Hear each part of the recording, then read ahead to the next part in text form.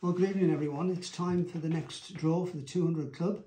Um, you might think that this is a bit soon uh, after the last draw, and it is, uh, because what we've decided to do is to draw the draws out a little bit nearer to the end of the month than we have been doing. So tonight I'm going to do the draw for September, and we are at the end of the last week of October, so the first week of October. Um, so um, I'm going to shake the bag up.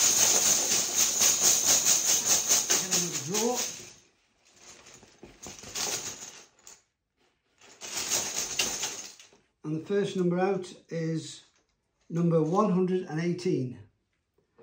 118.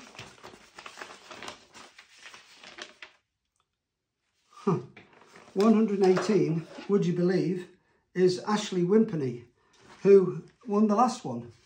This is the second time in a row that this has happened. Uh, so uh, it's just the luck of the draw. So uh, well done, Ashley. Uh, uh, in addition to the £320 you won last time, you got another £320. So it just goes to show it can happen. The next number need to draw is number 65. And number 65 is Paul Coleman. Paul, a former work colleague of mine. Uh, well done to Paul. Uh, 65. The next number to draw out is number 74. And number 74 is Simon Cooper. Well done, Simon.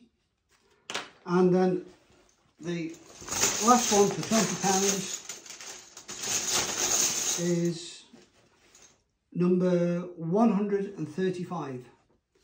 And number 135 is Malcolm Edge. So fourth prize for Malcolm Edge. So well done to Malcolm. Um, that concludes the draw for September. Um, just once again, uh, thanks to everybody for taking part in the uh, 200 Club.